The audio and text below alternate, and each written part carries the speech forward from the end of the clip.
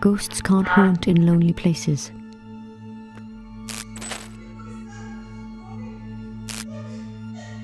Monsters need people to chase.